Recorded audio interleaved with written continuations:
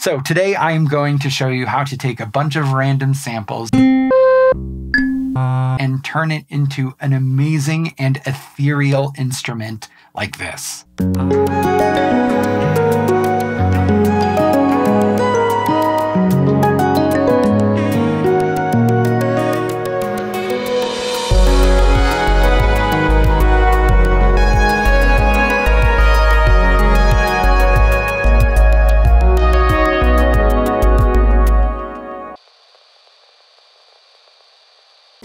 I am going to show you a feature of Sampler that I am willing to bet you did not know even exists. It is one of many, many updates made to Live's software with the release of Live 12. It is an awesome feature that, frankly, is been standard on most other samplers for 30 years, but our sampler is a little behind, but now that we've caught up, we can do some really cool and interesting and funny things with it. Now, if you want the exact instrument that I am making in this video, it is a part of my new all-in-one bundle. It's an easy way to download all of my free racks, and in addition, it's going to have exclusive instrument and audio effect racks like this. It's a one-time purchase, but you're gonna get every update to it free of charge. It is an easy and accessible way to support this channel if you're interested in the work that I'm doing here, teaching you how to make better sounds and songs using stock plugins in Ableton Live. So, without further ado, let's talk about Round Robin. So for this technique, the first thing that you're going to need is a bunch of random instrument recordings. In my case, I recorded my acoustic guitar, a wood flute, a kalimba, my voice, and a fretless bass.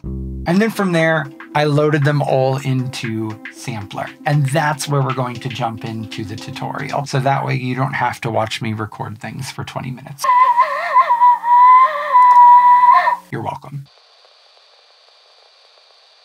The next step that we actually want to do is we want to turn on round robin. Now, this is the feature that allows you to play only one sample at a time for a given note range but cycle through those samples. So for example, if I hit C3 and I hit it multiple times, it's going to keep cycling through any sample that C3 covers. And in this case, the behavior is set to forward, meaning it will just move forward through all those samples. However, I can set it to backward, I can set it to other, or I can set it to random. I'll set it to random. And this is where it gets really fun and really interesting because then if I just start playing some nice chords on the piano, every single note is going to be a different sample every single time.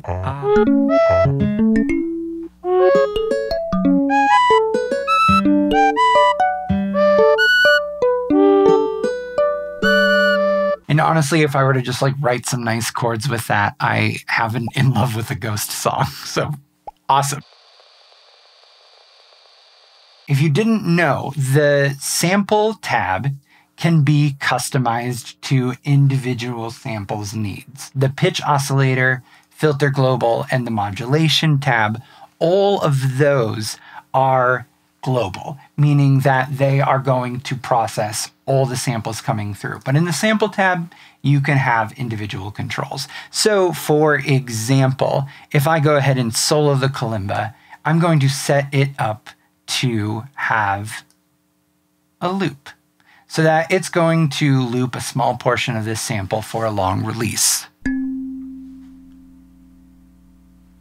And I can set up where that loop occurs. I can put it more towards the beginning if I really want to hear it. And I'm going to go ahead and do that for one of the voices. And I'm going to go ahead and do it for just one of the flutes as well. So there's a 50-50 chance that a flute will loop and a voice will loop or it won't. So I'm going to go to the Filter Global tab and I'm going to open up the release. This is going to allow samples that have a longer tail to hang out.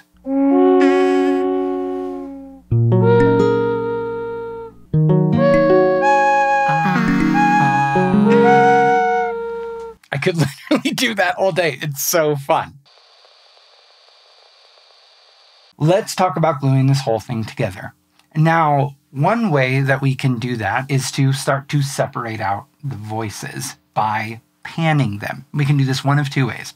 We can either pan individual samples to a specific point, or we can go to the Filter Global tab and we can select Panning Random. And I'm just going to crank it, and we're going to hear every time a new note plays, it gets panned to a different point in the stereo field.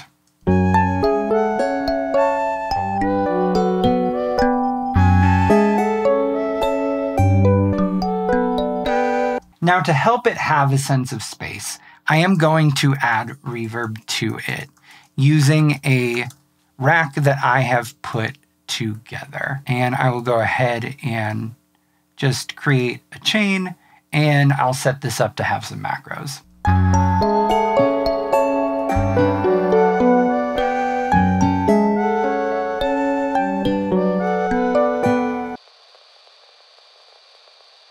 Now, the other additional feature that I want to add is the FM oscillator. This for some reason feels sometimes like a controversial feature of Sampler, uh, especially when I start to show it to my students, because this oscillator can feel really unwieldy, especially if you aren't super familiar with FM synthesis. However, the key to using this oscillator is that a little goes a long way. And I have it set to the triangle waveform. And I'm just going to start to bring in the oscillator and have it start modulating each sample based off of a coarse value of 1, which means that this oscillator is modulating at the same rate as the incoming MIDI note. So if it is, say, for example, C3, it is modulating the frequency of the sample at a rate of roughly 260 cycles a second in the shape of a triangle.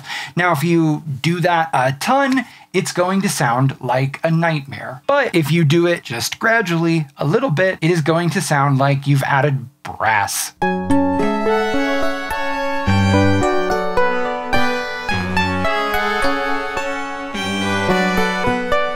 And how you change that ratio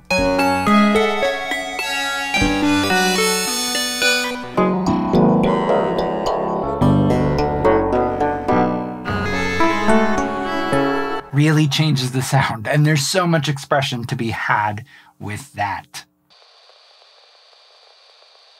I'm going to add one final piece of modulation to this instrument.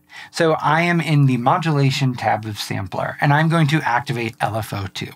And from the long list of parameters, I am going to select sample offset.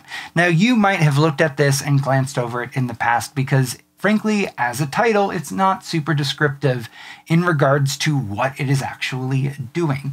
But what it's essentially doing is changing the start point for sample playback. And so that can be really cool when you apply that with a random waveform.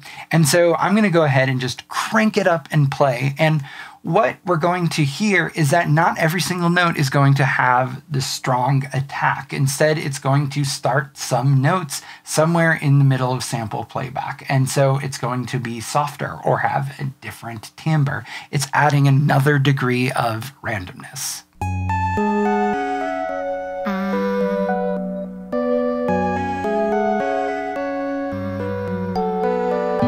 And with the width control, I can make it stereo, and it's going to process the signal coming from the left channel and the right channel separately.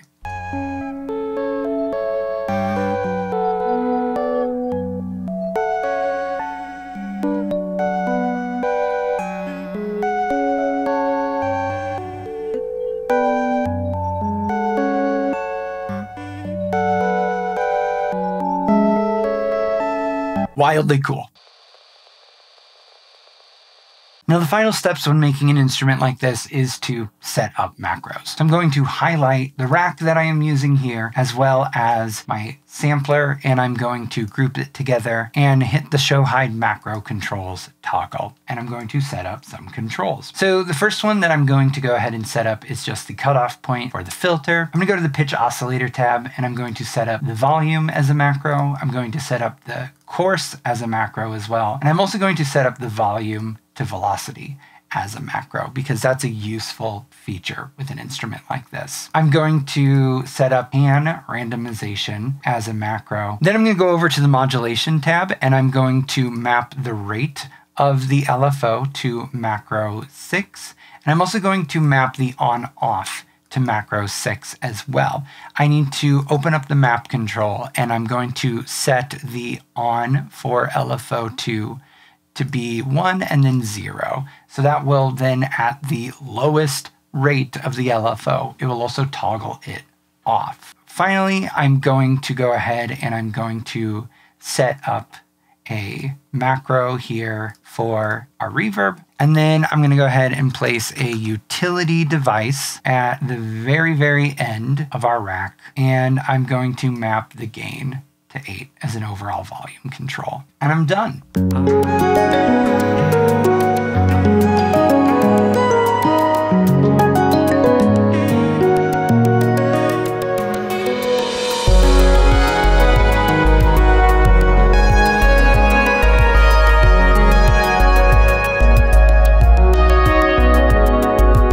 Thank you so much for watching.